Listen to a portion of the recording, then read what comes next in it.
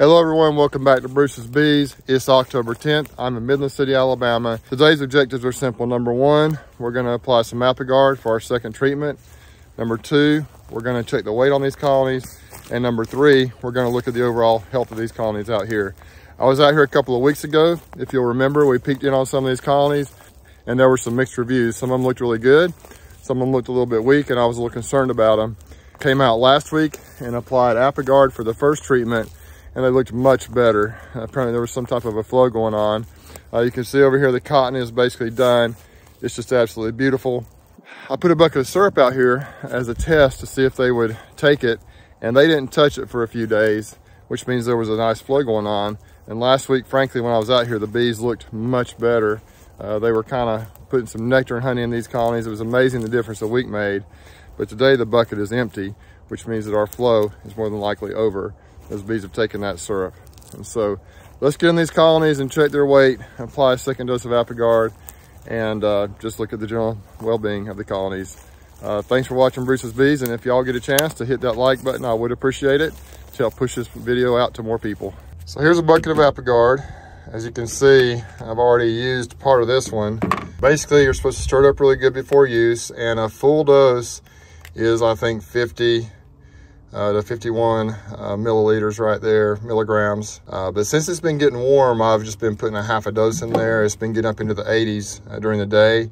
And so it says that can be an effective treatment uh, done one to two weeks apart for up to three to four treatments. And so uh, these are the cards you put it on right here. You can also use, I've heard just any kind of any little platform for them, playing face cards, but these come with the Apiguard, these little cards to apply it with. So I've been using 25 to 30 milliliters like that in these in the full strength colonies. And uh, the small nukes, I've been doing about half that. These are the bees uh, from Jose, the California beekeeper, with Uribe honeybees. Uh, what they've done is they've packed this box here with honey. So I put the Apiguard on the next level down. So I put it between the honey and the brood. You want to have it, I think, as close to the brood as possible, if my understanding is right. They really have this thing glued down, but man, what a difference, like I said, a, a week or two has made here. Man, that is a full box of honey. So we got good weight on this hive.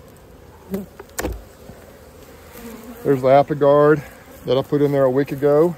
Look at all those bees. Isn't that a healthy looking colony?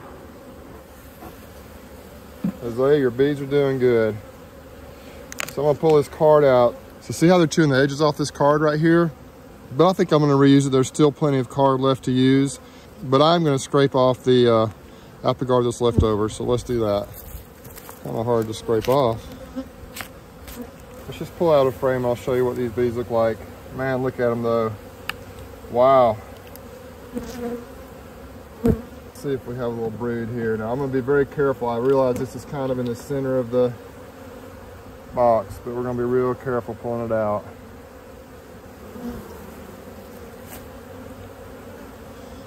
Beautiful frame right there. The bees are fairly calm. I think we got some uh,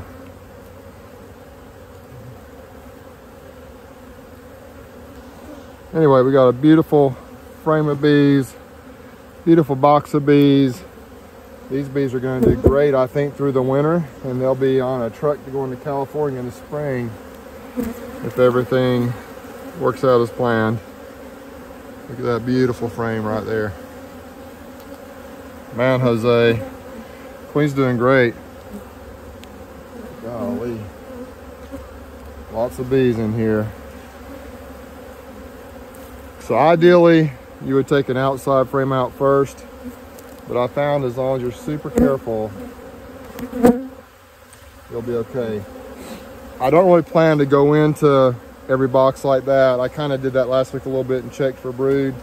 Uh, but we're just mainly here to look at the overall strength of the colonies, the weight of the colonies, which is really good to reapply the Apiguard. Now, real careful and set it right here. I normally would just leave it off to the side, but it will be in there. Set it right here where you can see. Uh, it says to stir it up really good, so I just found a stick over there. Make sure it's stirred up.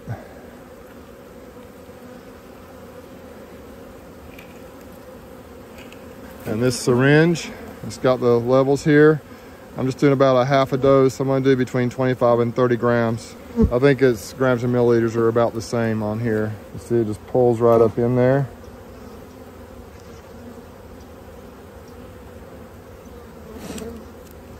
That.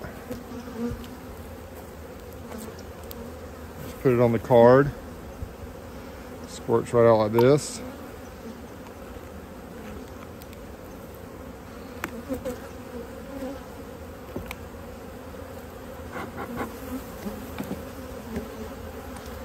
And I found that if you kind of tap it down on something, it flattens it out. You can use a hive tool to kind of spread it out too. I normally use the top of a beehive or whatever to do that with, but for demonstration purposes, just see how it flattens it out. You just set it in here on top of the brood area like that.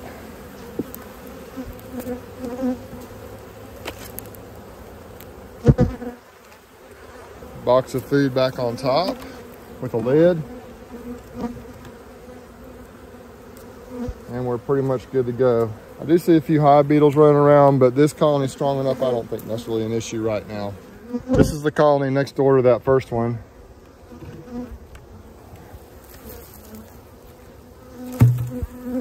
Look at that, a very similar story. Once again, uh, one of Jose's queens. Now, if you look at these lids right here, they have what we call a patty rim around them. So you can put pollen patties in here. You can put your Apiguard on the top if it's at the top of the colony, and they work well. Uh, some people use shims for things like that. Those work really well. Oh, heavy, heavy. Similar story right here. Starting to chew the card. And if any of them are chewed too bad, I'll just replace the card. I got some extra cards. Population in this colony is not quite as strong, but there's plenty of bees in here. And I think we're in good shape. Plenty of food. Got a half a dose again. Put it on what's left of the card. Kind of beat it down. It will be out of there. Set it back on there.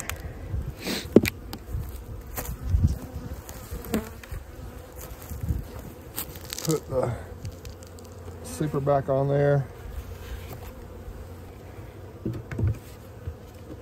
And that's all there is to it now. On some of the boxes, when I went through them, the brood was more in the top and then I just put the card on top. But these out here, the brood's mostly in that bottom deep. So I'm gonna go through the rest of these and do this and check on them and see how they're doing. These two right here looking great, really good weight, uh, good population of bees going into winter. So I'm pretty excited about that. And I may not need to feed them right away, um, but we'll keep a close eye on that.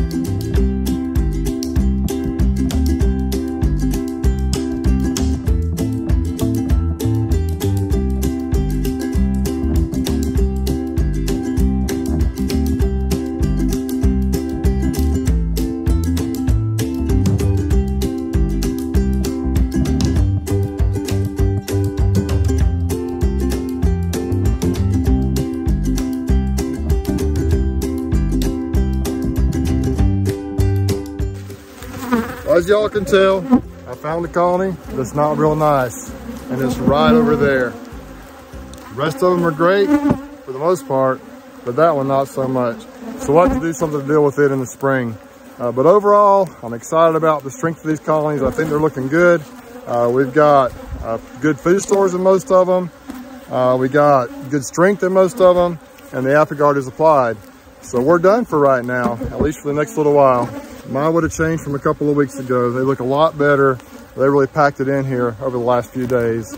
Anyway, if you'd like to see the video, where I peeked in these colonies a couple of weeks ago uh, to check their strength so you can see the difference between then and now. You can watch it right here. Y'all take care, be safe, and we'll catch you in the next one.